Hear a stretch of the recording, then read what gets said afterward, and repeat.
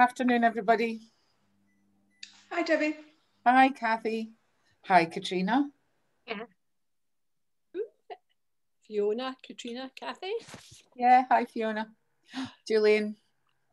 Julian. Uh oh, right. I must change my view to make sure I can see everyone. Isla and Amy and Jane.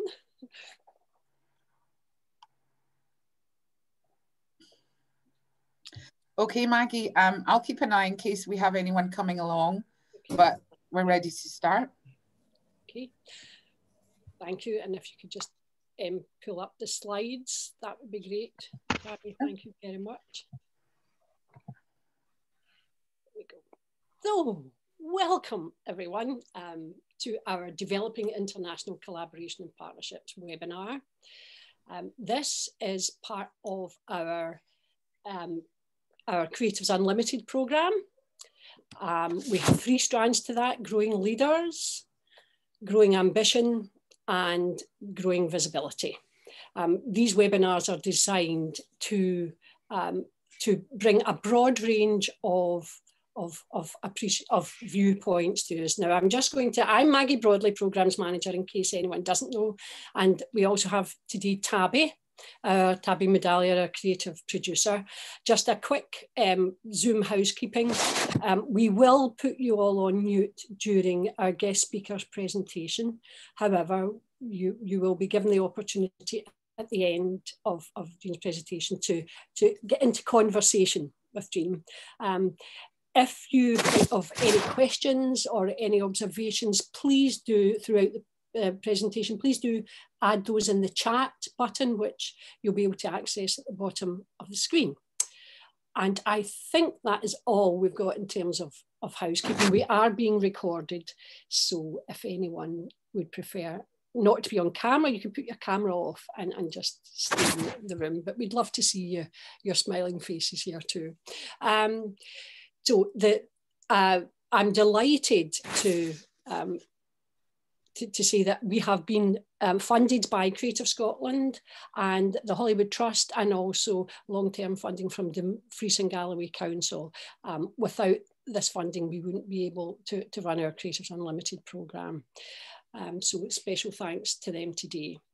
And now I can say again, I am really, we are delighted to introduce um, today's guest speaker, Jean Cameron, who's an inspirational freelance creative producer and facilitator who has displayed a passionate commitment um, to uh, working across the arts and culture. Um, Gina is going to give more of, of an insight into her, her experience in her practice. Um, but I would just like to say that this is about Jean's experience which is varied and very exciting actually. But we'll also talk, so will talk about that, but also reference COVID and the changes that that, that has brought, because um, obviously working internationally, there are added issues there. I just want to very quickly say something. I've been a long-term admirer of, of Jean and the work that she does. I've known of her for a, a, while and actually, you know, met her about three, three and a half years ago and was not disappointed in any way. Just a, she will tell you about her professional development. I just want to say quickly that uh, Jean's from, from Paisley and her first love was dance and she remembers taking a part in a dance display at the age of three in Paisley Town Hall. Um, Jean also remembers learning Gaelic songs and being aware of a real sense of an Indigenous Scottish culture. She remembers dancing, falling in love with classic, classical music, um, and a particular piece that stayed with her her whole life and, and remains important to her. Um, I think Jean's quoted as saying there was never any dumbing down. Um, she remembers Scottish opera coming to school thanks to teachers who valued the arts, and the arts were definitely brought into the community. And just last thing, um, Gerard Butler's claim to fame was he actually attended the same school as Jean Cameron. So, now, um, well, I'd, I'd like to, to welcome Jean and see we are looking forward to, to our uh, to listening to her experiences now. Okay, thank you. I also have two grandchildren in the wings. I'm going to put myself on silent so you don't get interrupted. Thank you, Jean. Can I just quickly remind everyone that we are recording this webinar session um, so that anyone who's not able to attend, they can view the video from the DG Unlimited website at a later date. Jean, over to you. Oh, hello. Thank you so much, um, Tabby, and thank you so much, Maggie, for that super uh, warm uh, introduction. I feel me tear in my eye there, uh, be, uh, being reminded of, of my, my Paisleyness. And um, good afternoon, everyone. It's really good to be with you today. And it was lovely hearing Maggie talk about the, the three strands to the work in D&G and growing growing leaders as one of those strands. And I've, I've had the pleasure of contributing to the young leaders program as a, as a mentor since um, September I think. That, that, that, that that's right? Um, and I really am, am impressed by the ambition um, that Dumfries and Galloway through the work that Maggie and Tabby are doing uh, the, the ambition that, that the area has for its young leaders. Um, and um, also really excited to the commitment that these online networking opportunities um, of the Creative Unlimited um, webinars offer. So well well done D&G you're doing you're, you're doing good stuff um, I, am really glad that Maggie um, framed this uh, as a personal account of international working. It, it, it really is. And um, I hope by sharing my personal experiences and um, personal stories that, um, that, that you don't find it completely anecdotal and useless, but you will find some, some, um, some uh, reflections on processes, etc., that are that, that, um, that strike you um, for, and remind you of the, the work that you you you're doing internationally and moving forward. Um, there really there really isn't one size fits all approach to international working, um, and I think that is that that is something that um, I want to point out um, at the, the, beginning of this. So what am I going to talk to you about today? I'm going to talk quite a bit about the geopolitical um, contexts that, uh, that have informed the, the, the international cultural projects that I've, that I've worked on. I guess with international projects. Um, it's almost like you have to look through the both sides of the telescope simultaneously. So by that I mean there's the you look through the lens of the thing that grabs your attention, grabs your heart, the collaboration, the partnership that you want to make. And at the same, the, the, the, same time, that other side of the telescope, that bigger lens of who's looking at who, who who's looking at this uh, part of the world um, that can resource your projects. Um, so that's that, you know, I think that, that that kind of link to the geopolitical context and funding is really important because international projects need resources. And um, I, I hope it helps you to consider um, that every moment's a shifting moment and our place, our place in the world is a fluid, evolving thing. So that does indicate, I think, in terms of where priorities for resourcing international collaborations might follow. I'm going to draw on a couple of examples from my own experience, um, which I hope uh, provide useful insights and highlight a couple of practical resources um, for where, where I keep an eye out for international working opportunities. I'm sure they're already on your radar, but um, just encouraging to, to keep an eye on these things in terms of um, what's coming up that might might provide an opportunity to collaborate in the future with international part partners. And I hope that all of that acts as a springboard for um, uh, exchanging experiences amongst us the, and, and our, share our own knowledge, all of all, all of our knowledge um, at the, the chat at the, the, towards the end of this session. So a bit of background, you already know I'm from Paisley. Thank you, Maggie. I've got a Paisley pattern shirt on today. Always, always about the Paisley. Um, and uh, I lived at Paisley um, the Paisley, I grew up in the Paisley that still exists, is a large, uh, there's, there's a large vibrant Italo-Scozzese, Italian-Scottish community within the town. Um, probably the best known uh, son gives, gives Jerry Butler a run for his money is Paolo Nutini, being one of our best known Italo-Scozzese um, Paisley buddies.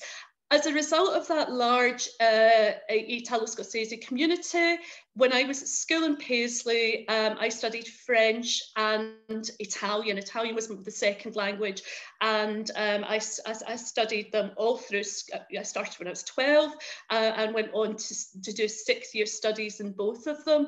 Um, and my first time on a plane was um, just as I was leaving sixth year at school. Um, I grew up in Ferguslie Park in Paisley. We had a, a, community of Salesian sisters and nuns who did amazing outreach work with young people there.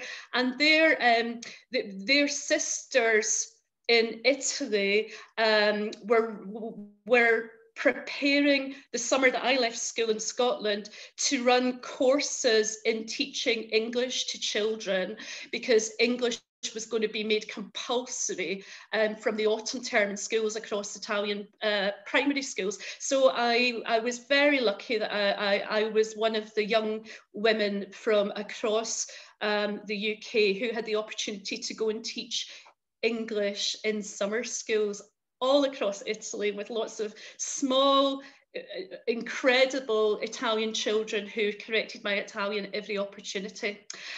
I went from I went on uh, very quickly when I came back to Edinburgh to study French and Italian with business studies, and re realised super quickly that that was preparing me for working in in corporate organisations like Zanussi or Olivetti, and that really wasn't quite me. So I came back to the West Coast pretty quickly and um, went to what was then Jordanhill, now the University of Strathclyde, to study uh, community arts. And th th this is, I know it's a bit of a backstory, but it's relevant because this was in the heady days of Glasgow 1990, where international working was par for the course.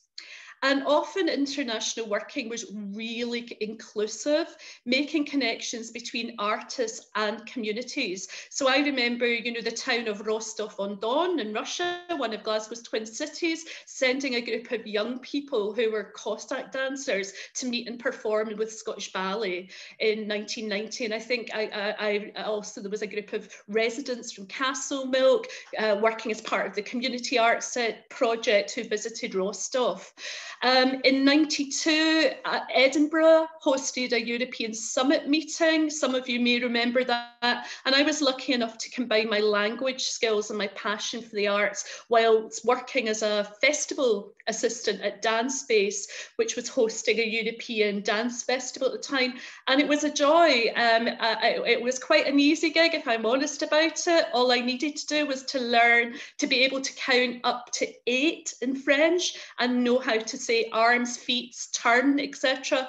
Because I was translating for a French hip hop dance company doing community classes out in Wester Hailes. But this was this was great fun. And, and again, I think that the, the this was the environment that, that, that I started working internationally in um, and, uh, and, and combined for me the two things that I'm passionate from. So it, it was uh, really about international ambition, being outward looking, but opportunity for community participation at, at the, the same time.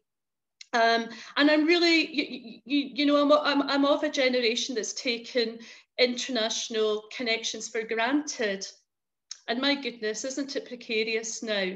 Um, through COVID, which has been mentioned, but also um, the, the, the being on the cusp of exiting um, the, the, the, the EU as well. So I think we have a duty to facilitate wherever we can that sense of confidence and curiosity and opportunity um, for our young people in particular to, to make connections.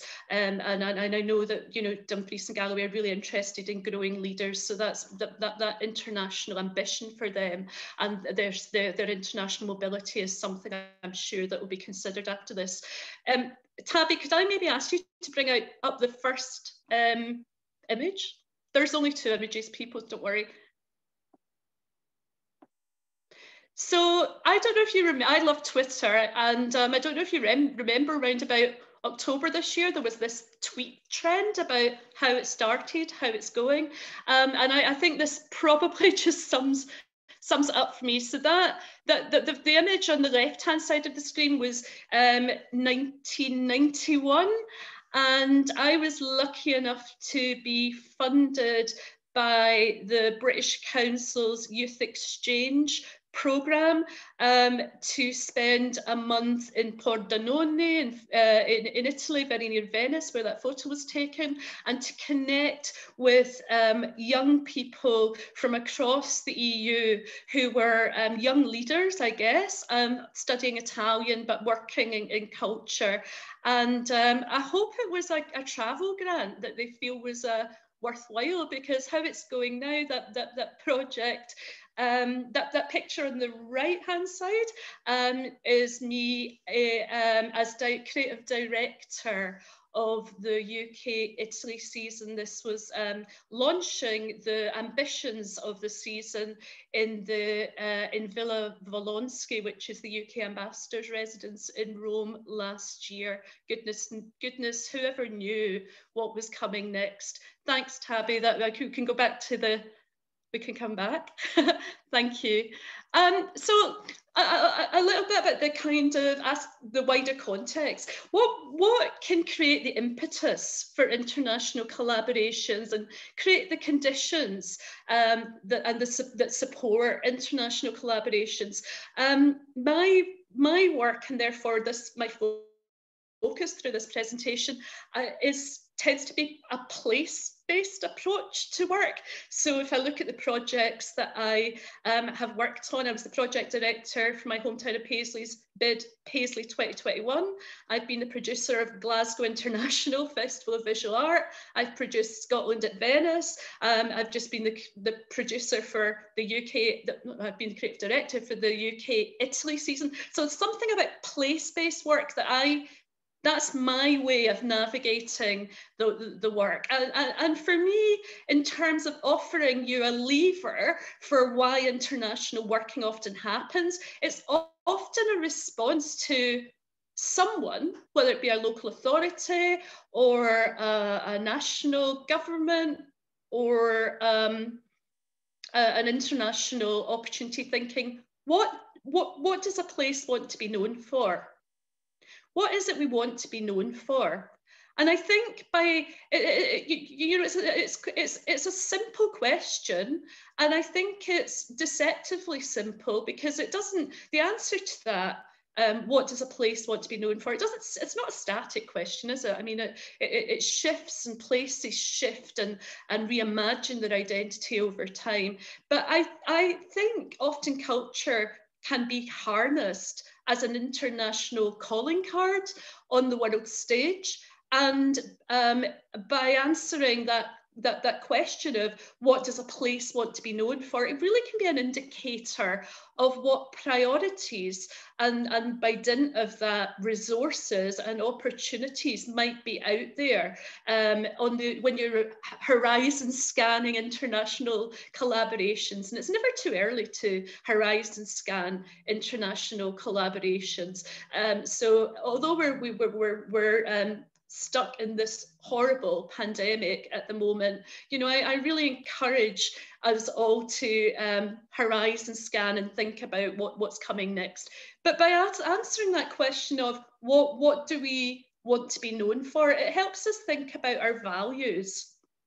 And by thinking about our values, I, I, guess where in the world we consider it important to have those international um, connections. And it helps us, um, what we want to be known for is about the stories we want to tell about ourselves um, at any given time. And it does shift as geopolitical context shifts. Um, and that, that can be really challenging to get support if you're an artist or a cultural or, or organisation, if your passion your side of the telescope is um, not seen as a current priority by the, um, the, the, decision makers with the, that wider lens of the telescope.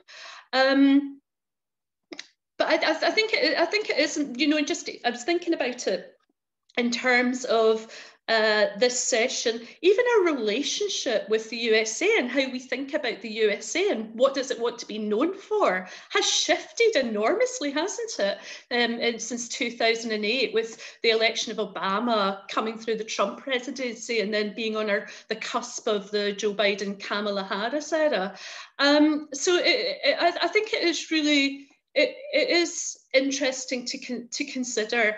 Um, um, and it is an interesting moment for us at the end of 2020, isn't it, to be thinking about international working within the midst of a global pandemic, major shutdowns, restrictions on international travel, on the brink of a new relationship with EU neighbours um, as the UK exits the European Union we, in September, I think, the Westminster government merged the UK um, government's Department for International Development and the Foreign and Commonwealth Office. That's a real indicator for um, focus, I think, in terms of um, the, the international priorities. But for these reasons, it's the perfect time to be thinking about how we might collaborate um, internationally in the in, in the future. Um, totally anything I'm presenting just now is about best guesses amidst amidst uh, uncertainty. But I, I, really think we need to think about about potential. Um, there's a British, I, have been working as a freelance creative um, director for British Council, and there's a really good British Council report, which is from 2017, but still relevant, called The Value of Trust.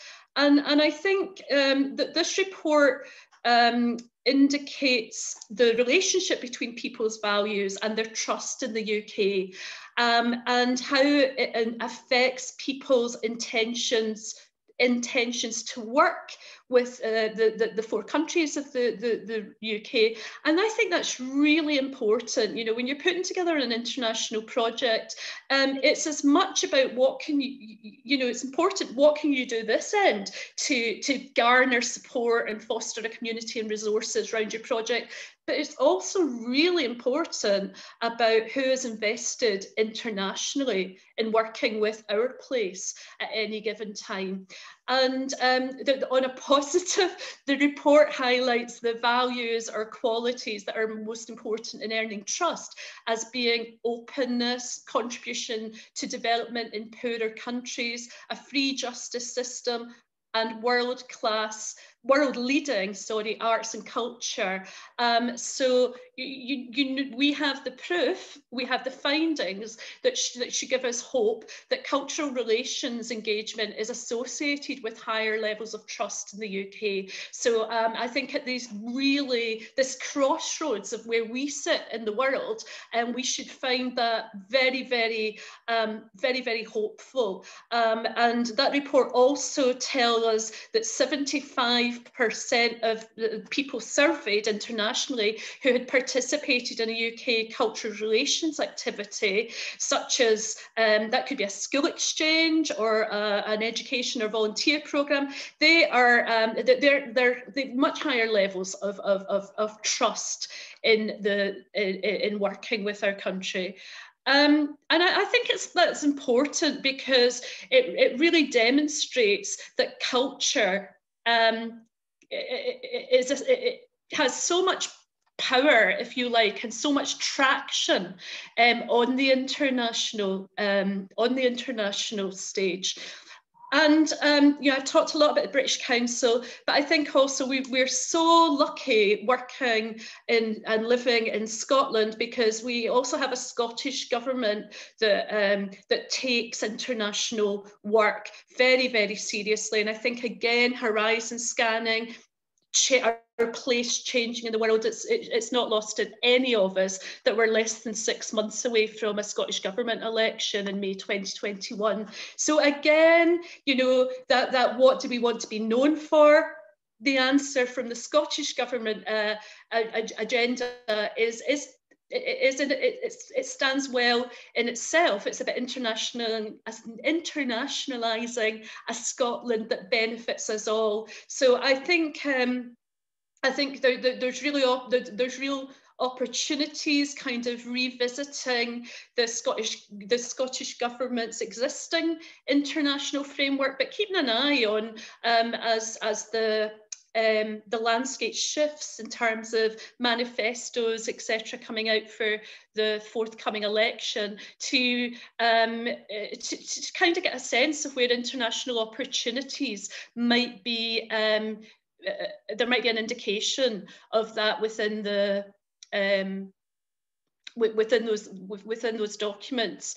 Um, I guess the uh, what the before I go on to I'm going to go into a couple of case studies now. But I guess what to kind of say about international collaborations is it doesn't always happen somewhere else. International collaboration, international working happens here. It happens in our places at home in Scotland, and I think that's that's so important to remember the amazing international opportunities we have in our own country um, and given everything that's happened with COVID, um, I, I, haven't been anywhere since January 2020 um, and have been able to deliver 60 events for the British Council without leaving my home. Um, and of course, these were online. So I, I just, I, I, I realise that's a very long preamble. I'm going to say a little bit um, now about some uh, uh case studies. So I'm going to try and, I'm going to, uh, tell me if you can nod, Tabby, because I know you're on mute, but can you, can you see? I've come off mute. I've come off mute. poster behind? Can you yes, see? Yes, I can see it. Other people see it. Yeah. Yeah, people are nodding. Okay. Yes. So the, this um this usually lives on top of my fridge, but I'm not very good with technology, so I brought it through here um, rather than sending a slide. But this that that that's the um, an image from the Georgian International Festival of Theatre acronym GIFT there's a clue there, um, which I was lucky to be the international project coordinator for um, in the mid 90s. It took place in Tbilisi. And um, the reason I, I want to mention that project is it was born at the Edinburgh Festival, again, grasping um, grasping the opportunity of any festivals we have across Scotland with the with international in their title is probably a good place to kind of rock up, spend time, meet delegates, sow the seeds for international projects. Um, and the Georgian project, we, we, we, we were working, we were showing Georgian, Georgian work is incredibly beautiful. They have the most incredible um, tradition of polyphonic singing and very visual, visual beautiful theatre. They also are the oldest wine producers in the world, so that's my kind of country. Um, but we, we were working with them in August 1991 when the Soviet Union collapsed, and they were performing with us at assembly rooms in Edinburgh. We were showing their Midsummer's Night Dream um, on the stages of the uh, of um, of the assembly rooms in Edinburgh in 1993 when they went through a civil war and President Shevardnadze, who uh, was the first Georgian president in this young democracy, sent a message to the Western world through a fax machine um, at assembly, and which was read out um, in, in the context of an arts festival. And as, and, and as you know, the Edinburgh Festival was set up as a place for healing and, and uh, European connection. Um, almost 75 years ago, after the Second World War, and our Georgian friends um, took heart from that. And their answer to what do we want to be known for was to set up the Gift Festival um, for the first time, opening doors beyond the Soviet Union to arts companies from ac across, across the world to come and present their work. Um, we, had, we had a lot of uh, visual arts people who were bringing publications and catalogues in for, um, uh, to, to Georgia. People hadn't um, had that exposure, if you like, to contemporary practice. And we had a huge range of um, we had a huge range of theatre companies come and perform um, with with uh, under the the sort of guidance of a, an international board that again was about my, my Georgian colleague Keti Dolidze being in Edinburgh and thinking Sydney International Theatre here, Perth International Theatre here.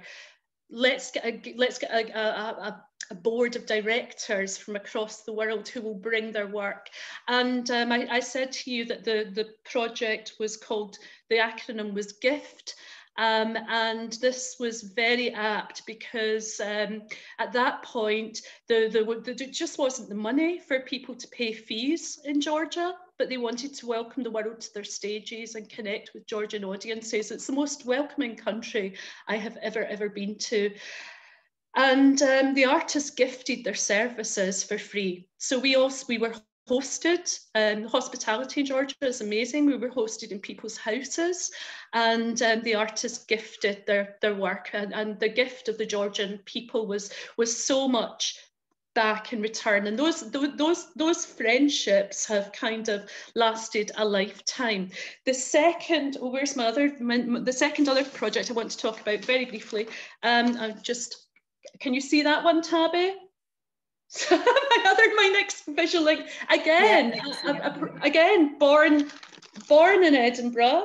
This this project um, was a project that I was really lucky enough to work with, um, the Indigenous contemporary scene, which I developed um, with um, Emily, Émilie Monnet. She, she, it was her idea, but I, I was the Scottish partner. Émilie Monnet, who's an Indigenous um, theatre maker um, who, who lives in Montreal, uh, with Canada Hub, who some of you might know is an Edinburgh venue. And, and in terms of that answer of what do you want to be known for? Um, I was introduced. I, I, was introduced to these uh, colleagues because the work that I'd done in the Commonwealth Games with Caribbean countries, particularly about um, the colonial role of Scotland um, across the empire, and um, I, I, was really um, bowled away and, and uh, felt compelled to do something when my Indigenous Canadian colleagues reminded me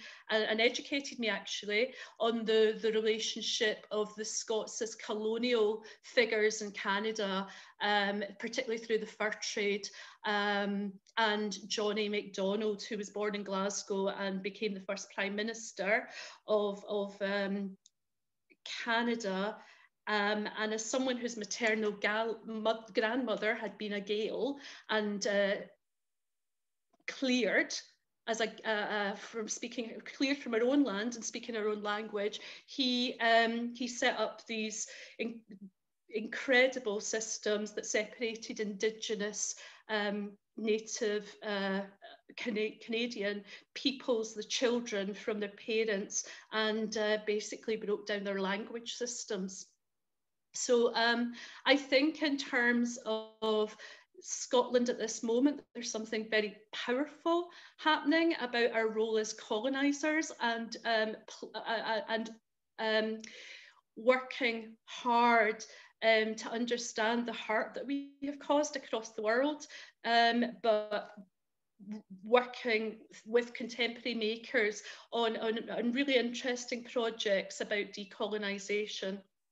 Um, and that was a very interesting one just one of the, the, the by the time that project was alive um, in 2019 last year i had passed it over to um, colleagues in edinburgh who could do much more with it than i could because they were big organizations but um, the edinburgh international festival and the edinburgh international book festival as well as a couple of venues at the fringe really ran with the developmental work that we'd done in that. And but uh, one of the beautiful things i was able to do during again Celtic Connections, an international festival, was at the beginning of 2019 to bring um, Gaelic speaking artists together with a, a, a, delegation with Indigenous Canadians to work through um, what does ind indigeneity mean in both our places. It was interesting, it's quite different in both places because in Scotland it's so wrapped up in language, um, but in Canada language had been eradicated. So again, a real, a, a, a really important exchange. Um, I'm going to kind of move on now to my final example, and it's it's about Italy. It's where I've just been. it's where I've come from. Maybe Tabby could ask you to share the website. Just maybe we'll we'll just have that up and scroll through the images there, if that's okay. Yeah, that's fine. You just tell me when you want me to scroll just, just listen i don't mind you just slowly scrolling through that just now um, but basically um, while, while tabby's uh, sc scrolling the, the I, I on Thursday night last week, we just delivered our final event um, in what's been the, the um, British Council's first ever digitally led season of culture. Um, British Council basically chooses different countries to do a season with every year. Um, I came in to be the creative director of this one um, in February 2019. Um, we had an, uh, we, an open call through the British Council's arts pages for um, expressions of interests in the project. We funded outward delegations. Um, again, it was an open call for those going out to Italy to see work. We had in we had in bound delegations at the Edinburgh Festival last year and at the Great Escape Music Festival in Brighton, and these kind of again those that that delegations, those things that are really important first steps to get to know each other, sort of formed the basis for for work. My theme, uh, my curatorial theme for the season was being present, um, and I came up with that in April 2019. Um, really, there was lots of reason about being present. I, I think I'm always interested in who's present, who's absent, how you amplify the voices of those less heard. But I think also there was something there about British Council being present in Italy for um, more than 70 years. It's set up just after the Second World War, so way before the EU, and absolutely the appetite for the of the British Council and our partners in both Italy and the UK to be present in each other's work, um, way beyond whatever happens uh, as we exit um, the EU and to develop these future relationships. We had a beautiful programme of work um, geared up at the end of 2019. I think my programme got signed off in December 2019. And then, of course, we know what happened next. Um, and one of the things that I guess it's, it's not transparent, but it is, it is public knowledge, and I feel I can share it with you, is that the British Council, it operates in 110 countries, and how it's funded to work across different parts of the world is different. So again, it can be can be tricky navigating. So you, you know, jumping back to early in the presentation, um, the, the, the, part, the Department of International Development being merged with the FCO, you know, there's there, there, there there's a, an impetus for a, a resource perhaps for work to be done in um, overseas development countries for British Council, but maybe less so in countries such as Canada that we've just been discussing, or certainly the EU. Um, but one of the things that, one of the ways that British Council does income generate is by teaching hmm. English. And we were, um, yeah, Tabby, you can go on to that next page if you like. Okay. Um, thank you. Um, and what, what happened very quickly when coronavirus hit um, China was the British Council had to shut down um, a, a, huge number of its English language schools in China, Latin America, the EU, and its test centres. So it, it kind of authenticates English tests around the world. It lost millions and millions of pounds in the first two months of this year. Um, and it basically put a freeze on its activity for a period of time um, uh, during 2020. But there was such a strength of feeling that because of Italy and Bergamo being this ground zero, if you like, in terms of um, coronavirus hitting Europe, that that we wanted if we couldn't stand um, face to face with our colleagues in Italy, that we wanted to show that we were standing shoulder to shoulder with them. So um, we were, we thank goodness, and the, the, the UK ambassador Jill Morris in Italy was a real champion for this. We, we, we kept going and we committed to delivering a, a season of culture. And Tabby, eh, bless her, is, is scrolling brilliantly through the, uh, the, the links there. And I'm sure we can we can post these links actually to you. But I think you know in terms of that the program that that that, that Tabby's got up just now, I'm just just just to to um, flag up a couple of things that we really might illustrate how we've been working differently in this digital age. Um, there was the Shakespeare, which I think is the first, maybe one of the first projects there. We did a, the, the forced entertainment, so an amazing experimental um, UK company, reimagined the, the complete work of Shakespeare to be performed using household utensils at their kitchen tables. Um, and this was like proper Zoom theatre and really relatable too in terms of the, the, the scalability of the work. But um, what was quite incredible there was Romaeuropa, our partners in Italy, as well as seven other international festivals that knew uh, Forced Entertainment's work. They all put commissioning money um, we were able to support that, but they've all put commissioning money into this or into this um, theatre company to say, look, expand your practice, adapt to working on the small screen, and um, we will take the conventions of co-producing work amongst a number of international partners, and rather than you getting on a plane to tour it, um, we will all put a virtual curtain up on our own festival's websites and present it that way. So that was pretty amazing. Um, the, one of the other projects to highlight there is the Glasgow Turin Twin City partnership which um, again was was a, a, lesson in humility and, and being humble. I think we we worked with um, OGR, which was a, an amazing, massive space in Turin that was built originally to build locomotive trains and Glasgow's tramway, a tram dep depot, of course, um, and uh, you know share share a, a, a heritage, I guess, of why they were first there, but they've got a really close programming aesthetic now, which was a natural fit. But we had to be very, um, we, we, we, we travelled in faith with this project because the OGR um, was converted into a COVID hospital. And um, it's quite something because of the, the uh, working with colleagues who are seeing that happen to their venue and have no no sense of whether they're going to open up as an art space again. Um, and I, I, th I, think that that, um, that too speeds things of how everything was happening at a different speed in Italy from what was here, and then Italy emerging before we were over the summer, although we're both in a very similar place now in times of lockdown.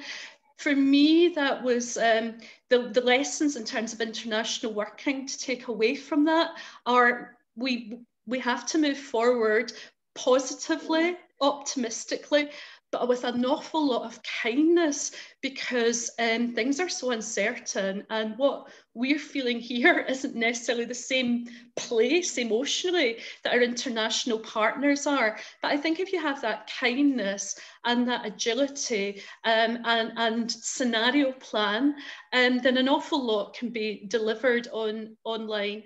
And, and just to close, um, and I'm sorry that was a whirlwind, but just to close, I'm going to ask Tabby to bring up my last slide because it's got some of my favourite people in it, and it's um, goodness knows we didn't when this is this is a photo that was taken in Rome on St Andrew's Day last year, um, and I just uh, uh, in a way that that all, all threads, all roads you know, lead to Rome and all threads lead back to Paisley for me. So there's me wearing my Paisley, my Paisley tartan next to the Honorary Consul for Italy in Glasgow, who is a fellow Paisley buddy of mine, Ronnie Convery.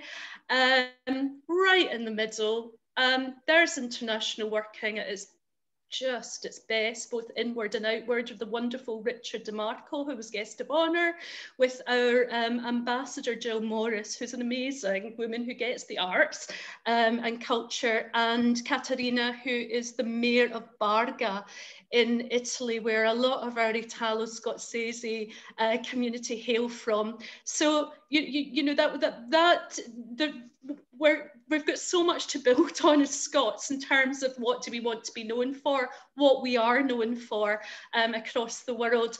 And I think for me that there's a continuum and a thread in that photo that makes me feel really positive. and that's where I'd like to um, leave it and say thank you to you for listening and maybe ask Tabby to open us up to discussion. Thanks. Thank you, Jean. Yes, let's have a chat because you've just given us so much food for thought and, and some interesting things. I have no doubt that we've all got some questions. So um, feel free to unmute yourself. And does anyone have anything that they would like to ask Jean? Kathy. Yeah. Um, Jean, thanks for that. That was great. Um, tell me, how do you see your next year shaping up? Given that you've done 60 events from home, what's the way yeah. forward for you? I'm so glad you asked that question because um, the, uh, the, I, I genuinely don't know on one level because I, I finished my contract with British Council on the 10th of December, but I have a I have a strong feeling that the, the next international opportunity is Glasgow hosting COP. Mm. You know, it's it's a bit like the Commonwealth Games. There wasn't a blueprint about how you did culture in relation to that. And Glasgow made it its own, and it's a world event. It's, it's dealing with one of the major issues of our time. Who knows whether it'll be in person or online? It, it, you know, it brings in those, those notions of indigeneity. If we look at the global south and we look at the world's forest, we look at the stewardship there, it's our indigenous people. So I kind of feel it's caught. I don't know, but that's my hunch. Jean, just for people who don't know, what's COP? COP26 is um, it's the big, it's a worldwide um, uh, environmental gathering. COP stands for Conference of the Parties. That doesn't give you a clue, does it? The, the, the, the, the, the, the there was Paris, I think, was maybe the last one, COP25 in Kyoto, etc. It should have happened this year. Um, and interestingly, it's a UK project with Italy. So it was in my reckoning for um, for this year. The Youth COP is being held in Milan um, and would have been part of our season if it had gone ahead face to face. But everything um, has been moved to Glasgow hosting this international um, event where some really big targets on climate have to be signed and agreed to. It, it will happen, I think, the 1st to the 12th of November next year. Thank, thank you, Jean. It's just I'm mindful that people will be watching this after this, and so they might be interested to have a little bit more detail. Thank you. Does anyone else have a question? Hi, Fiona. Um, I can unmute you there if you click that now. Hi, um, Fiona. Hello, hello. Um, I was just wondering, where do we start if we are very small and we're wanting to make um, approach um, other organisations also small, but looking for cultural exchange, either of artists or events, um, being very localised here in Dumfries and Galloway. Where would yeah. start? Would it be the British Council? Well, the two places, and I'm sorry, I, I, I've got a tend to rabbit, so I'm sorry I've gone on quite a bit. But the two resources I was definitely going to mention are the British Council Arts newsletter, mm-hmm. and it's it's uh, produced to, uh, every two weeks. You can sign up for that online. But the other place, which I think is great, and I was really encouraged looking at it today because it had lots on it, is the um, Creative Scotland's News and Opportunities site.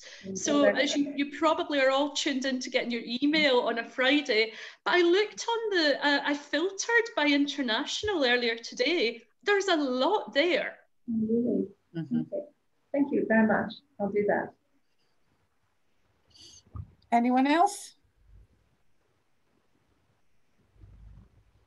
Amy says, thank you so much. Thank you, Amy, for joining us. She has to leave. I have a question. Just, oh, Julian. Julian's got a question. Hi, Julian. Um, there you go. Um, I I was wondering uh, whether there are strands on, uh, God, I'm going to find this difficult to describe, particular uh, particular cultural strands, let's say, oh, I don't know, I'm going to pick it out of the hat, uh, medieval history.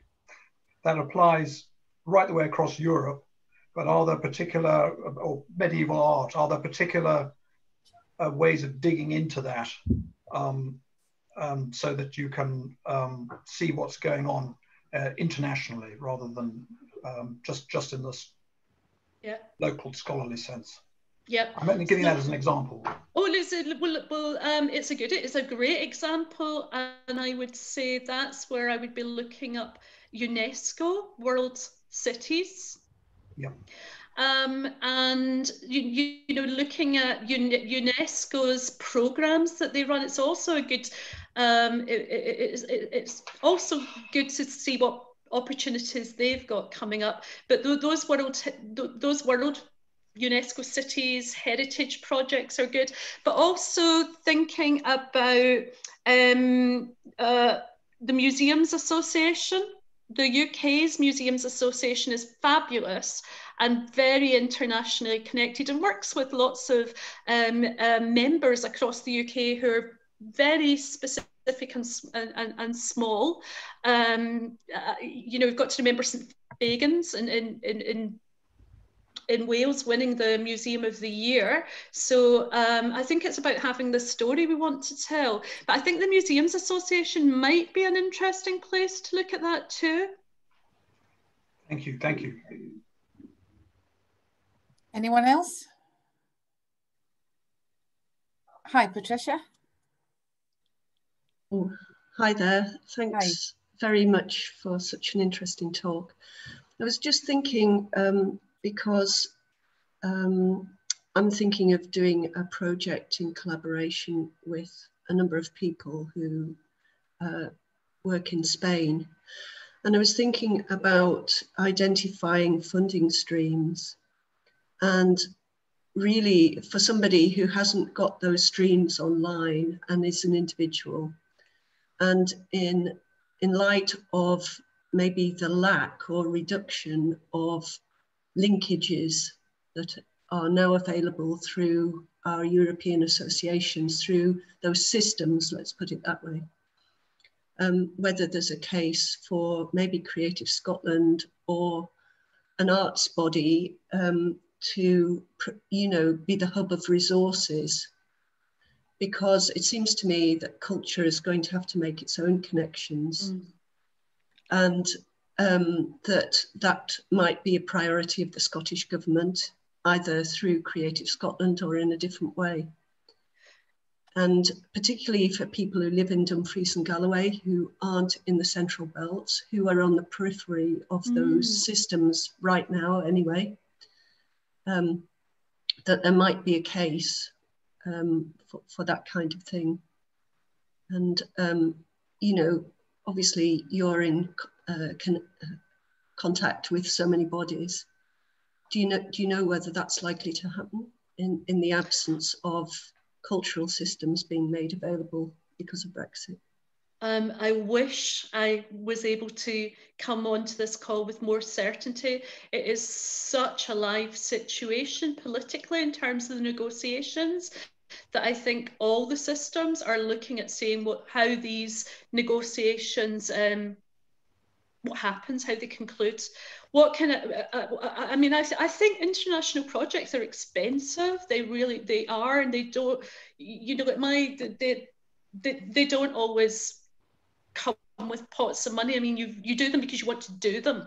Like the Georgian example of gifting your service, or the, the Canadians when they were doing their research stayed stayed with me because we'd no funding initially, you know, and the, that, that that was a little bit um, about it. What do, what can I say usefully? Kate Deans Kate Deans is still in post. She's got, a, I think, um, she, she's got a Creative Scotland email address. She is Creative Europe Desk Scotland. One person, Creative Europe Desk Scotland. She's housed within Creative Scotland, and as much as the the, the, the UK government have um, removed us from being lead partners for um, any Creative Europe funding.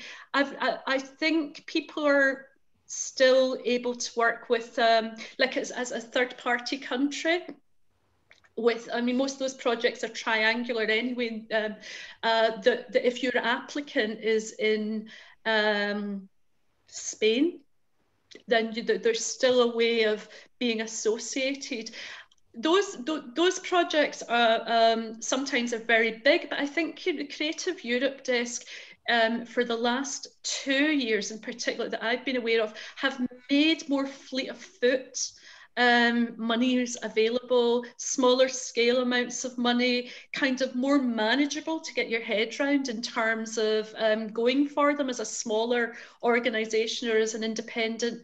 Kate is certainly someone worth speaking to. I mean, the other the, the other thing when we when we talked about trust um, earlier uh, in the presentation is, is the the twinning networks. You know, um, is, is, is there anything there in terms of uh, do, you know, in, in, terms of certain I'm lucky. I'm in Glasgow. It's got very. It's got seven twins cities across the world. But um, there's something about that commitment to active twinning. Um, look, Glasgow's Glasgow's one of the cities next year, and I know I'm going on about Glasgow a lot, but it, uh, you know, for the Commonwealth Games, it was again, it was it, it, thanks to Creative Scotland, it was it, it was there was a Scotland-wide program, but we have got I know these are not the most obvious things, but we've got Euro 2020, the football championships, Glasgow is one of the hosts for that. I suspect there will be a cultural programme relating to that in the summer. But we're not, you, you, you know, it's like that being present theme. There's a big appetite, and we know that. You know, you, you, you, I'm thinking of certain parts of Spain. Scottish government have done some really brilliant work with Galicia um, they they were a kind of host, a featured country, let's say, at Celtic Connections. Maybe it was 2018. So you know, uh, what do we want to be known for? Certain parts of states, Spain have that, that autonomous mindset that actually there's there's there's that is that works well sometimes with where we are sitting with. Thanks. Thanks very much. Does anybody else have a question or have a comment? I've got a very quick question, Jean, if that's all right. Because you've said it a few times, what do we want to be known for? How do you handle looking at us from, from the international perspective?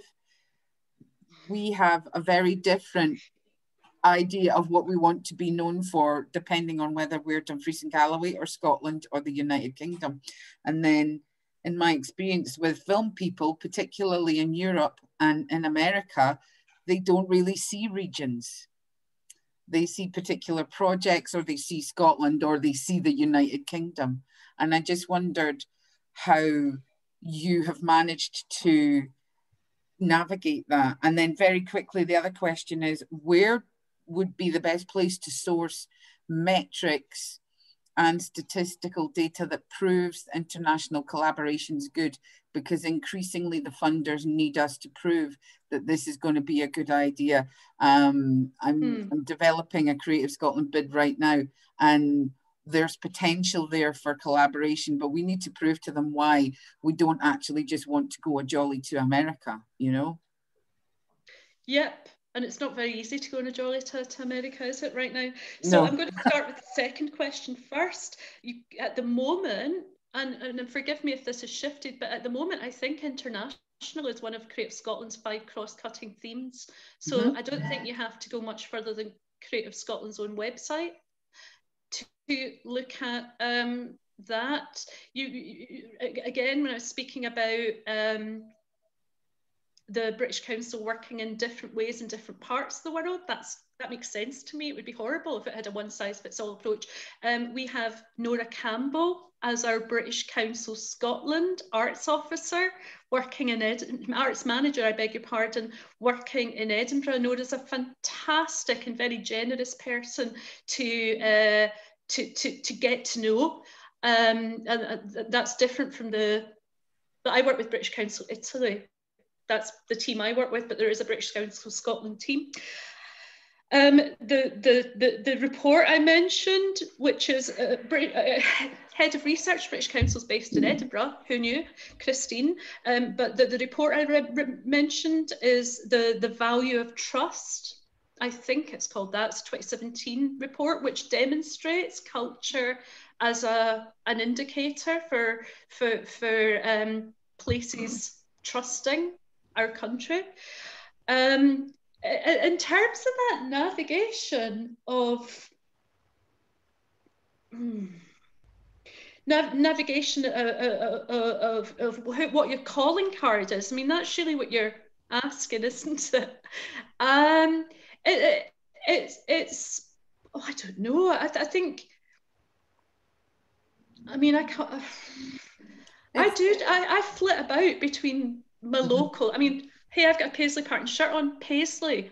There's a people know Paisley pattern. It gives me a starter for 10 for my story or whiskey. You know, people love Scotland. I know that, and please, I'm not trying to, whiskey's an important, you, you, you know, um, export for, for us. People love Scotland. I found it hard. Um, I found it hard to um, persuade my partners in Italy originally to think about getting to know a UK beyond the big names they knew in London. Yeah, that's it's, why I'm asking you. It's the case, you know, they all wanted to work with the Tate. Well, we all want to work with the Tate, but we, we went on a we went on a journey. And I think that is, you know, so it's it's like any communication, it's like it's a dialogue. Does, does that make sense? So it's I, I think that agility, agility and a lot of letting go that we've had to do during COVID has prepared us to just be more adaptable. Um, I, I, I think, and I don't think that's a bad thing. So, um, I, you, you know, those Italian partners went on a journey and they got fantastic um, uh, uh projects and a lot of them with next generation artists that I think they will be very proud to say we were there first. We gave them their first international opportunity. But did I don't, yeah, I, I think it's the the dialogue thing. Hmm. Thank you, Jean. I bet someone else up here has got a better answer to that. well, if anyone wants to contribute, Maggie, or I, it's just I kind of there's a thing about patience as well, and that don't you know these because because I'm sitting here wearing this scarf, which is one of the outcomes of an international collaboration I was involved with. Started off, and again, it's about other organisations. A Creative Scotland craft curators tour to Australia during um, the the you know the Australia Biennale there. That was 2013 developed and it's not just about the relationships you develop whilst you're out there it's then the colleagues that you go with the relationships you, develop through that. We eventually brought an australian artist who connected with a core group of us brought her to scotland and eventually and i was involved in a project i was an executive director for a project. I moved on from that but in 2018 then we finally got to the end, and there was a wonderful exhibition with an Australian artist who used local collections in four different areas of Scotland. So it's that relationships. Uh, you know, I like the way you pulled that. You know, there's a lot of the starts here, the international work, relationships with your colleagues, and the long end game. Don't be put off by five years. Other interesting, really wonderful things happened with different partners during that period. But um, I wanted to wear this today to remind me of, you know, the long game um, and also why I wanted Jean and Tabby as well. To, you know, we wanted Jean to come and talk to us today. So if if everyone kind of has, you know, you had their questions the opportunity to give that. I just like to thank everyone for coming today. Um, thank my wonderful colleague Tabby um, for for what she's done today and in the lead up to this, and just for being a great colleague. And finally, Jean, um, um, Bella, Bella, just wonderful, um, and it, it's given us all a, a lot of insight and you're very generous with some of your connections and knowledge as well, which is much appreciated. I would just like to remind everyone that there'll be a little feedback form coming out after this. Please do um, complete it. We want to know what you think.